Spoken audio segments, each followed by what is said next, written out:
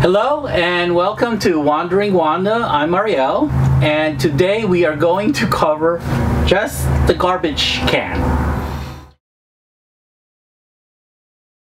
I found this garbage can on Amazon and it actually fits this little square area here. It's wonderful. This cabinet here, I don't really go into too much, but it's stored here is cleaning supplies. That's why I don't go into it too much. And it fits perfectly. You step on this and it opens up and then closes. Nice touch. You just press down on it and the lid opens up and it closes very gently. Now to take garbage out, you just pull out this blue pail. Just pull it out. And then you line this with a plastic garbage can cover or plastic garbage cans and it's it's an R plastic garbage can you can get this at Ralph's or Smith's or Winn-Dixie, Walmart, Target. They sell these. However, don't bother buying this.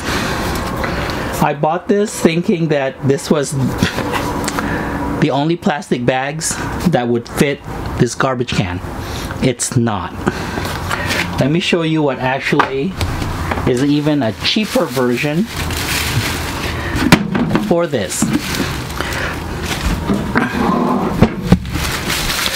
You get a plastic bag that you get for free at grocery stores and almost every place you go to, except in California, a little communist state, that makes you pay 10 cents a bag and it doesn't, it's not even a tax. It goes to the company. Anyway, it fits just, just perfectly. Ta-da! So instead of buying these, you get these for free.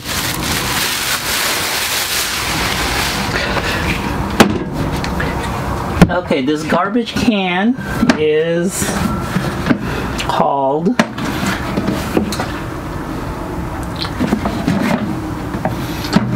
Oh, I don't know what it's called.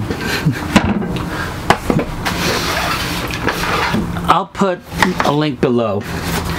It's from Simple Simple Human. It's right there.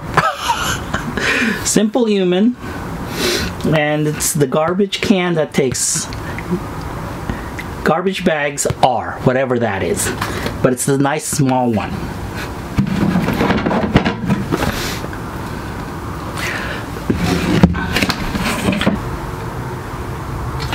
Okay, I hope you enjoyed watching this little short video of my garbage can. I like it. Nice garbage can. Okay, bye.